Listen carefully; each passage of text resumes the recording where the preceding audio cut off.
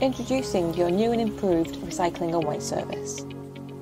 Our resource and waste strategy will help us to minimise and recycle more of our waste, mitigating the impacts of climate change and helping us to meet our target to be net zero carbon by 2040. Three new recycling bags will be delivered to homes across St Helens Borough this autumn, enabling you to recycle more of your household waste for our weekly recycling service. This will include a replacement blue and white bag, as well as a new green bag which will be solely for cardboard recycling. The green bag will help to deal with the increasing amount of card generated across St Helens and help us to separate glass from card, maintaining quality and helping to recycle as much of our waste as possible. So what goes where?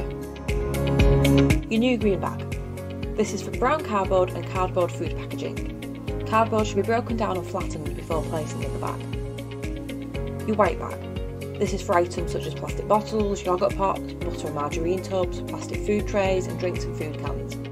Please take the lids off plastic bottles and wash and squash your containers before placing in the bag. Your blue bag. This is for newspapers, magazines, catalogues, junk mail and envelopes.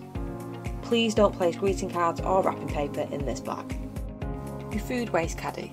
This is for all types of food leftovers, including fruit, vegetables, tea bags, dairy products, fish, meat, bones, bread, cakes and pastries. Your black box. This is for glass bottles and jars, rinsed with the lids removed. You will not be able to place cardboard in this box from the 6th of November. This will need to go in your green bag. There may also be some changes to your collection day and times as we make our service more efficient and reduce vehicle movements to cut carbon emissions.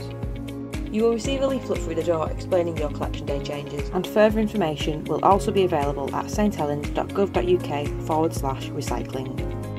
Please ensure your bins and recycling containers are out and ready to be collected by 6.30am. Don't forget, you can start using your new recycling bags as soon as they arrive.